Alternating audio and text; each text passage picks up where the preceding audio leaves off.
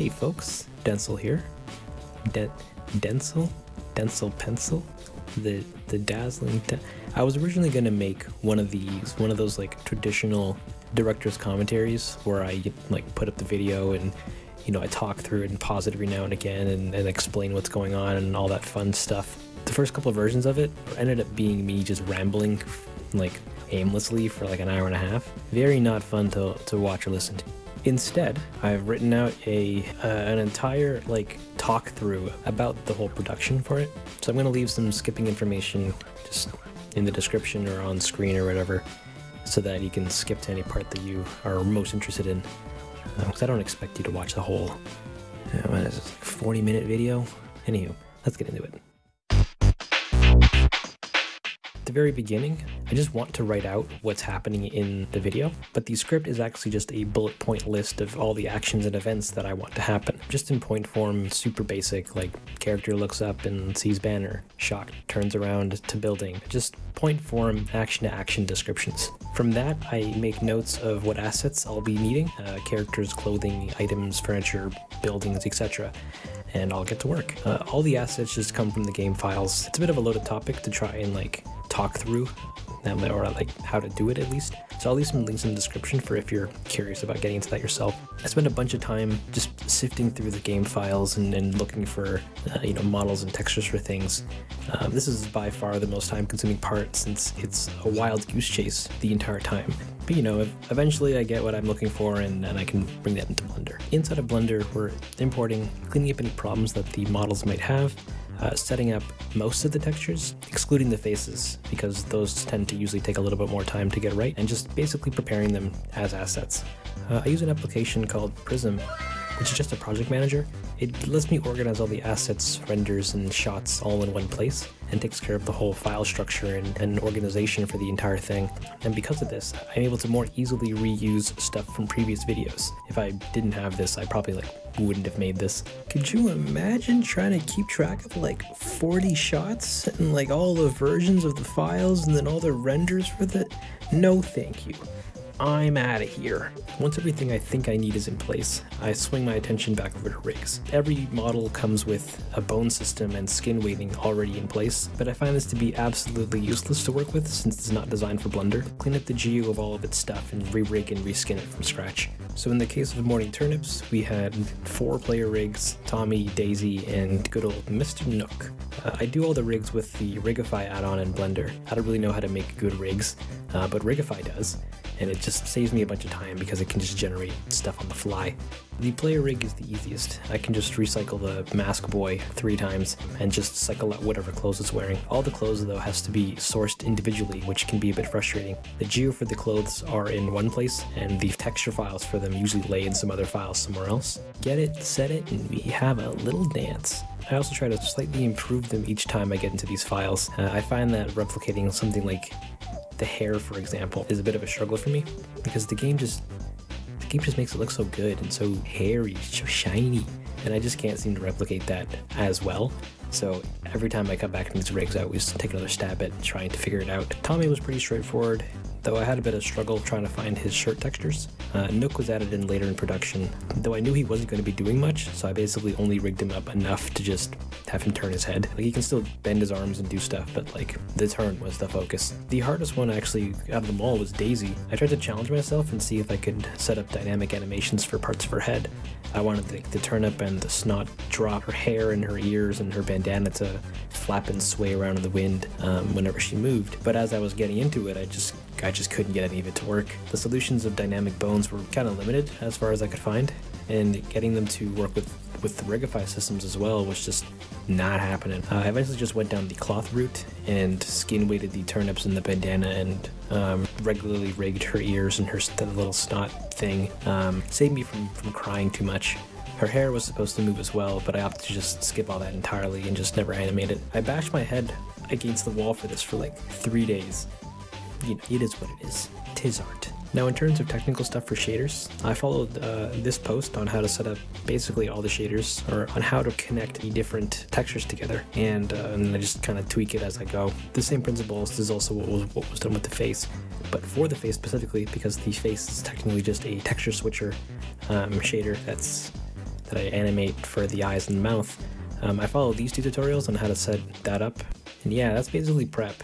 The whole process of this usually takes the most time, a couple days, three, four days maybe, to just get everything in file and ready to go. And once all this is finished, we move on to storyboarding is like sitting down and specifically drawing out all the frames and camera angles and what have you, and then editing that all into the editor, and then you know getting a feel of uh, of the video, and it's cool. Though personally for me, I find the aspect of drawing and editing those drawings together to be a bit of a waste of time. Don't get me wrong, I love to draw, but like drawing frames that nicely depict action isn't really one of my strong suits. I'm a I'm a layout artist by trade, so I instead just take the rigs and assets that I've already that I do have made, or at least whatever work in progress versions of them, and just kind of stick them on, uh, stick them out in the scene, point cameras at them, and then take quick screenshots to uh, to get things started. Uh, nothing crazy here really. All I'm focusing on is just testing the rough structure of the video, kind of kind of like I'm pitching it to myself in a way. I'm usually really messy with this step as well, doing all this in like a single blend file or like a single working file, and just throwing the camera around and what have you. I'm not really too worried, or at least in this stage, I'm not too worried about pacing or composition. Um, I'm just looking to see if the video's idea as a whole can work. You know, if it doesn't, then no big deal. I can always just reuse assets that I've that I've made up to this point for something else. But if it does work, hot damn, we in the money, guys. Yeah, let's go. So yeah, quick viewport images strung together is the first rough pass of the video. The step usually takes like a couple hours, and if the Council of Mies approve, then we move on to stage two. And that's. So most of the prep's done, and I have an idea of the video to a degree. At least it tells me that, you know, it's doable. So now I need to actually create shots and do a proper proper layout. In Prism, I'll create shots and sequences based off the frames in the storyboard, and within each shot, I'll just recreate what I've done on the board, but like, you know, with actual rigs and then a little bit of set blocking so I can have an idea of, of what I'll need to make later on. And usually in this step, I'm actually thinking about composition and framing and all that fun garbage. If a set was made in prep, then I'll populate it in. If not, I'll just put in the key geometry or some important set pieces and then just build a set around it later. The first couple shots actually were originally built and blocked on live stream. What's a cute pig, guys? put your hex codes in the, in the chat, and and I'll pick the best pink. Uh, but then like heavily reworked later when it came to rendering. More on that in the in the lighting and rendering stage. Ooh, very cool. A Skipping foreshadowing. I'll roughly block out the characters' positions and like key poses, and unless the camera is doing something like really specific, like a pullback from the ground, I'll usually just fully animate the camera while, while I'm doing the characters. It's usually not that hard, at least that's what I tell myself. But it's also in this stage that I'm like more seriously thinking about composition and pacing and the timing of actions and stuff. And that's kind of how I do blocking. It's basically a more refined storyboard pass. And in Resolve, I'll make a new timeline to set it all together. And blocking usually ends up taking like, I don't know, a day, two days ish, maybe. I'm not very fast. Animation, let's go! So animation, at least to me, isn't the hardest part, surprisingly, though I do often dread it the most because it's one of the most scrutinized aspects of a video. But luckily, Animal Crossing is rather minimal in terms of how much fluidity happens in their motions. Most of the shots, if I did a good enough blocking pass, I can just flip to Bezier and like it pretty much animates itself. I just add hold keys and offsets between body parts and try to follow the uh, them animation principles. You, you squash and I never really classify myself much as an animator. I'm a camera guy. I like I like camera things. I'm a really big fan of cinematography or the art of cinematography. So I try to set the shots up in ways so I have to do the least amount of animation. See, I'm a fraud. I don't know how to animate. I just pay future me. He just figures it out. He's he's the he's the guy future dangle. At the core of their motions, they aren't really doing much throughout most of the shots, um, but I try to add subtle bobs and motions by just adding and dialing in noise modifiers to their bodies. So much, so much is done with noise modifiers. Tommy is two keys with a bunch of noise modifiers. Daisy, all noise modifiers, except for her snot. I had to had to hand animate that. I added it to all the characters to give them subtle subtle sways and bobs while they stand and and do do their things. Fauna and Punchy was all noise modifiers, and uh, all the handheld camera motions with in any video is just more noise modifiers. Uh, this thing really saves lives and saves me a bunch of time and keeps me from needing to fine tune doing doing human subtleties. Where things got real fun was was figuring out how to do the button mash kind of animation. Uh, I hated the idea of having all the animation kind of on one timeline. I wanted to do actions in layers so that I could animate the core animation and then just add the button mash over top of whatever they were doing. I thought for the longest while that Blender didn't have an alternative to like animation layers like it does in, in like say Maya for example, uh, but it does. The non-linear animation editor. Never knew how it worked, so I took the time to figure it out and uh, boy was I happy I did. Uh, it was a little confusing at first because it was causing some some weird stretching and like overcompensation problems, but I eventually figured out how to how to stop that. You're supposed to add layers, not combine them, silly goose. Amateur. So I animated their movements and then the switch over top of it. Learning the the NLE actually helped immensely with later shots with the uh, with the mask boy because I knew I wanted him to do like walking and stopping and turning around actions and stuff. And for someone who didn't believe in their abilities, it sounded really time consuming and hard. But with the NLE, I could do it in parts and just blend them together. You know, I could just make a run or walk separately and then, you know, his actual actions and what he's doing and just have them all blend together. Easy. I was really worried about the drowning sequence because it did require a lot of a lot more work that I couldn't necessarily like do workarounds for. It was just straight making drowning animation. You just, you just gotta get into it. Um, there was the water and the thrashing, and that all, you know, really scared me for some reason because I thought I wouldn't do it any justice. But when I really got into it, I just took it one step at a time. Just made sure the blocking looked good enough for um, for the next phase of it, turning it to smooth and just smoothing it out, making sure that all the poses and all the and then their actions looked convincing and uh, and motivated, and then just making sure it all looks fluid enough so that you don't go, Ew, that looks disgusting. Animation. It's fun.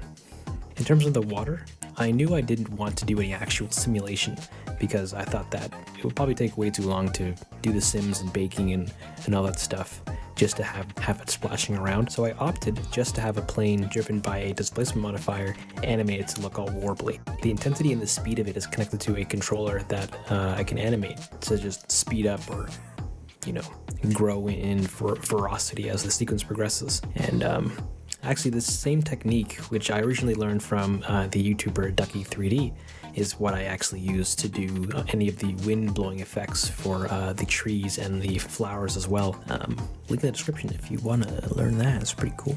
But even in animation, the pacing and timing of everything still fluctuates. These shorts always start shorter than what the end result usually becomes. And the more I work on it, you know, the more I need to make things longer so that shots can feel better or the pacing for things just sticks a little better or things can just so that it works. The phase of going from blocking to like fully animated usually takes like three, four days maybe. Again, depending on the shot and what it requires, some shots take longer than others, but generally a couple days. And that's 3D animating. Let's go! For all the 2D elements, they were actually pretty simple. I used a program called Affinity Designer uh, to build all of the elements in their pieces, and then those elements were brought into Adobe After Effects to be rebuilt and then animated in their entirety. And then that asset would be rendered out again and then imported back into Blender as a card or something. And then I would just place that wherever it needed to go. So, you know, in front of characters or in the sky or what have you. Yeah, it was just just that. The destination board was recreated from scratch so that I could add this little parallax effect. And it was kind of annoying trying to get this image or get the reference for this because the only image that I could find was one from uh, from these two, the Morel twins.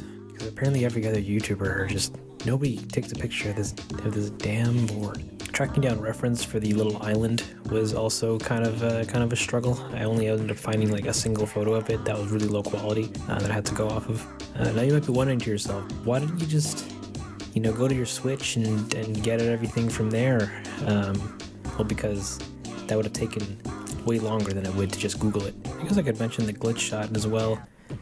That was literally just I take a frame of her while she's doing her pose, and then for like two frames, just add this glitch effect. I literally just watched a tutorial on how to make a glitch effect in After Effects because I don't know how to do that from scratch. What am I? Some sort of artist? Garbage. Uh, and that's basically all the 2D stuff.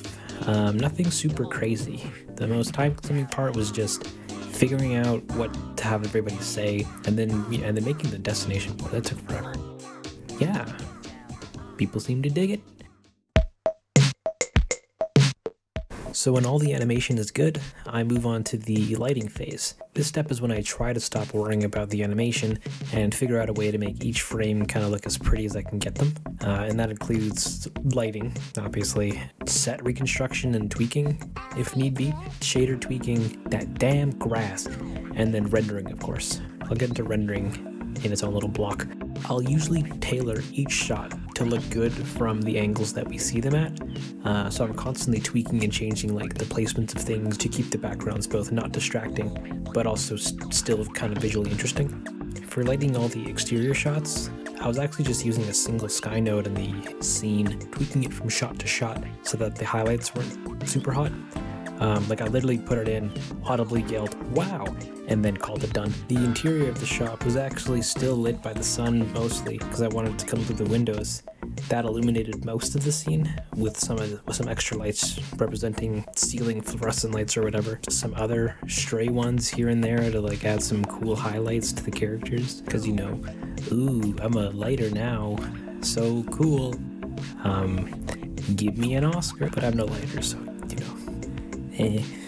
things got a little more tricky with with the drowning sequences because I was always running into this problem of the light objects showing up in the reflection on the ground, and I specifically didn't want that. I wanted to try to get go for that Stranger Things kind of like Black Abyss look, where like just the characters are lit from some strange out of frame light source but nothing else is reflecting that light kind of. I also wanted to try to play with the volumetrics and to add like a subtle fog but then ended up just not looking or rendering great. And I specifically wanted one over top of Nook during uh, any time he was on screen, but that just it just wasn't working super well, so I just opted to leave it out. The next big struggle was getting the water and the aerial shots to look good, and then getting grass to look good. Uh, for the water, I knew I wanted to actually see like wave interaction or the water climbing up the beach, but um, I didn't want to do any simulations since I thought that would take too long. So I tried to figure out some shading approach to, to like faking it, but I also couldn't get that to look that great either. There was a shader that an artist named Ben created with this like super sexy looking shader for waves that was made for the render engine Eevee. I was using cycles so I so it wouldn't necessarily come out looking the same. So I spent a bunch of time trying to get it to look as good as it does here, but on a larger scale on the beach. And like it kind of worked, but like, or I was able to get it like 80% of the way there, but it still looked really fake. It was intersecting with the beach kind of in this like very obvious way. Um, so I eventually just scrapped it and went with the went with just doing the water with some noise modifiers and, and fun transparency shader. And I just watched some more tutorials on how to make water shaders and called it a day. Same thing with the void water. I wanted like this this reflective but murky sort of sort of goop. Um, it ended up just mixing a couple different tutorials together to get the effect that I was looking for, and I thought I, I thought it came out pretty decent. Um, yeah. Then there was the then there was this climbing wet effect on their bodies. I got the idea because another channel that I was following was giving away this free shader node that would add like wetness to objects. Um, but when I downloaded it and like put it in and tried it out, it it didn't work. Um, at least I couldn't get it to work, but I still wanted the effect, so I just sat down and figured out my like my own solution to to doing that. I think looked pretty good. It even animates. So as, as, the water climbs, the wet effect also slowly travels up the body as well. So that was I thought that was pretty pretty cool.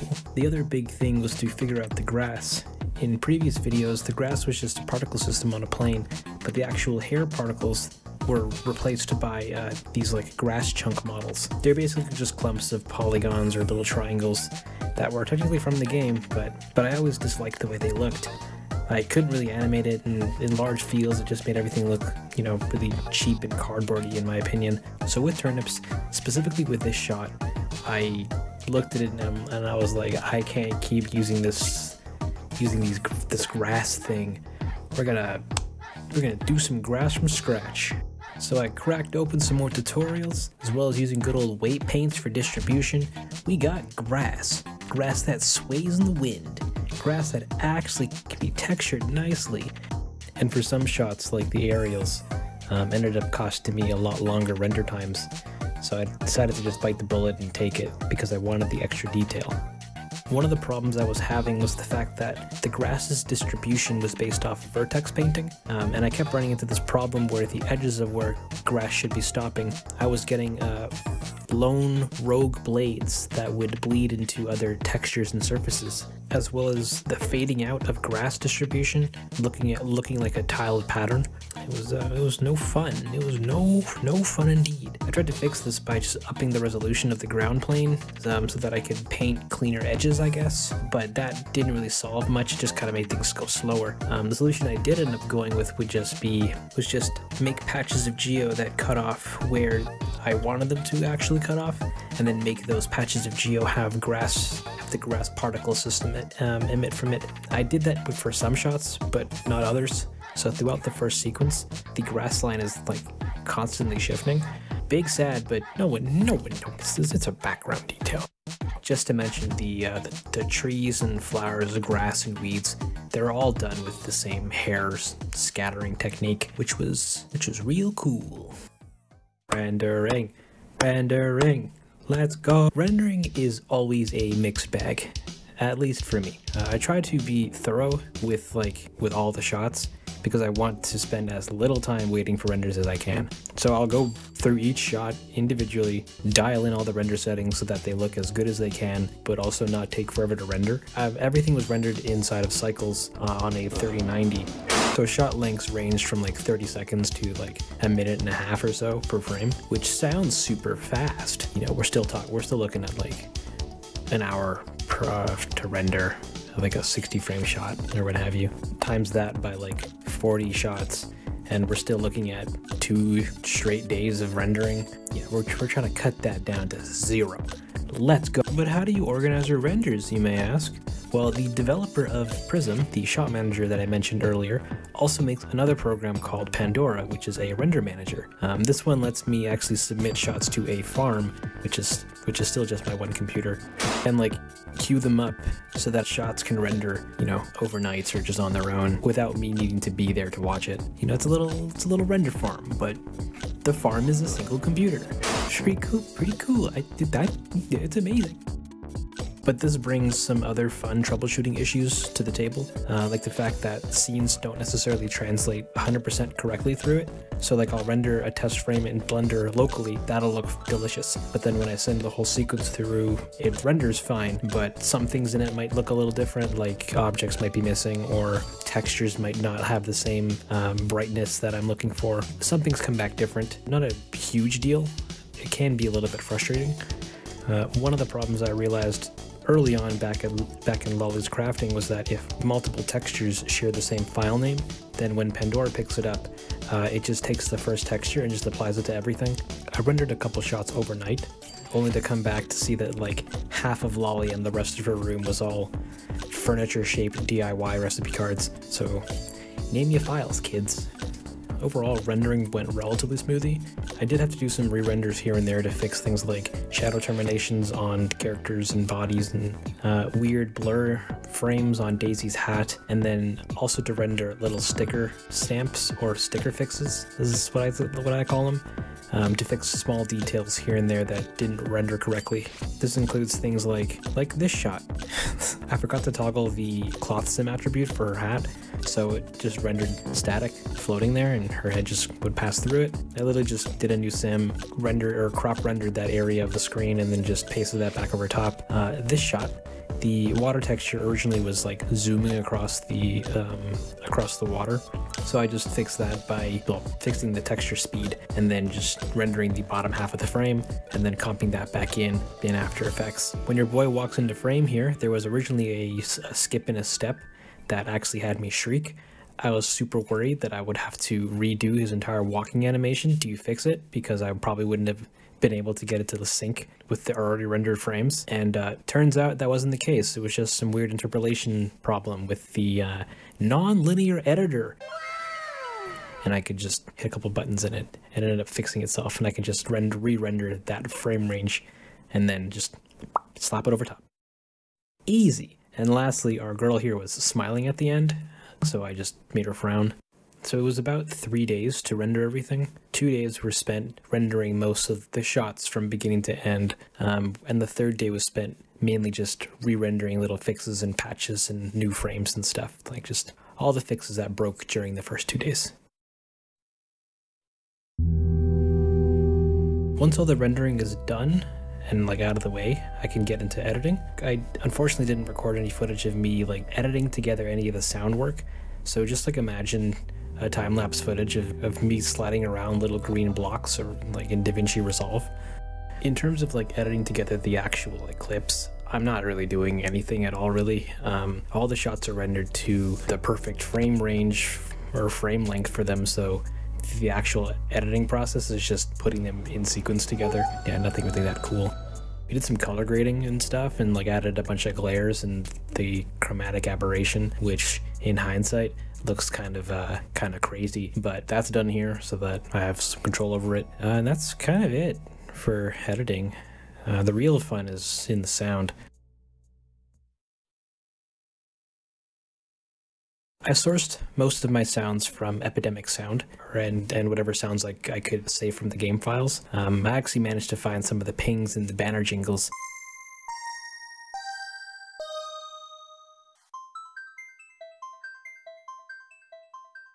So I was able to just use those there without having to like record some weird version of it that EQ music out of. Any of the sounds that I couldn't find in a timely manner, I just recorded myself. Um, so things that you probably can't really hear, like clothes wrestling. Uh, the button mashing sound.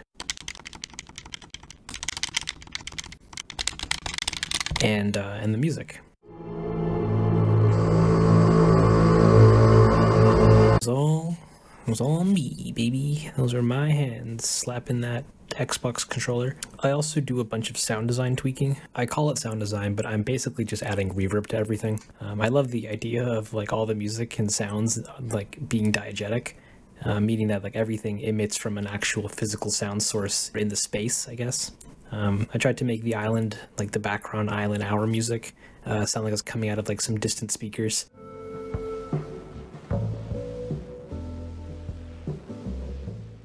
Um, same with the inside of the store um, to make it sound kind of like the tune was coming out of like a PA system or something.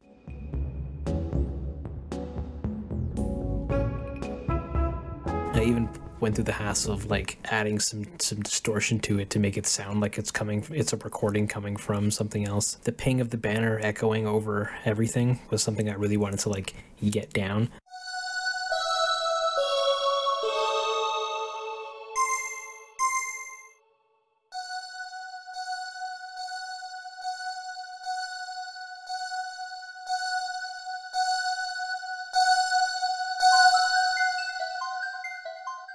Um, and in the void, there's I tried to go for this like muffled sound effect kind of thing, like sound doesn't really travel that far in that space.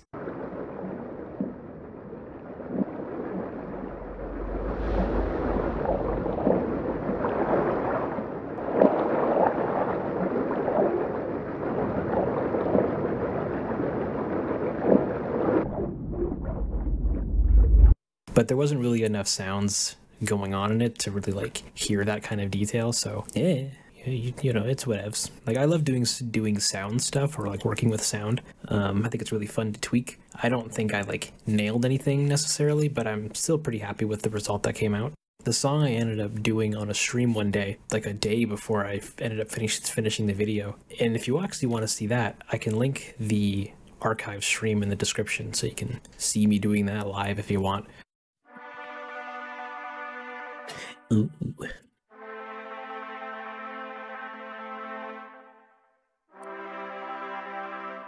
She looks you in the eyes.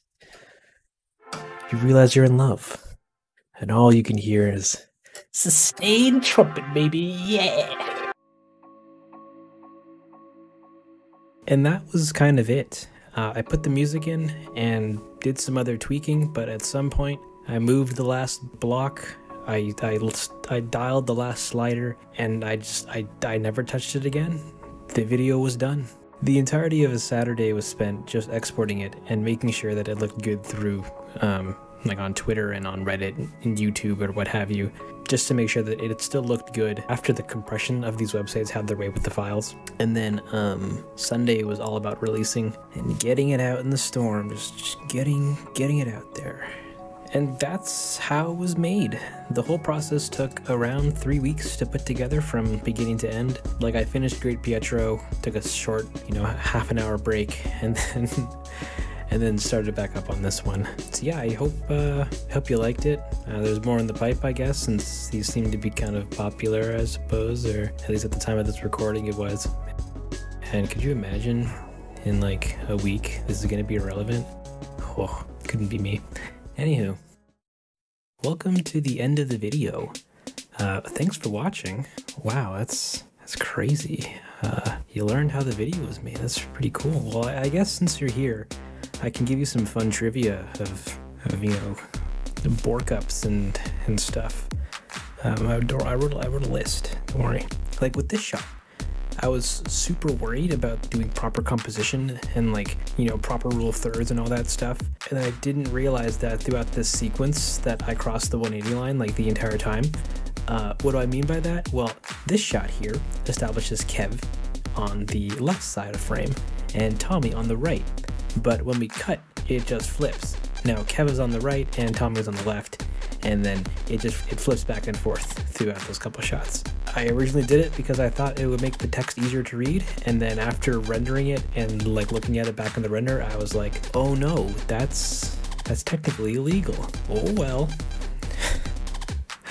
uh, the grass line keeps shifting around sh from shot to shot. I think I already mentioned that actually earlier in the thing. Yeah, I probably did. Uh, the island is actually just the airport and the shop.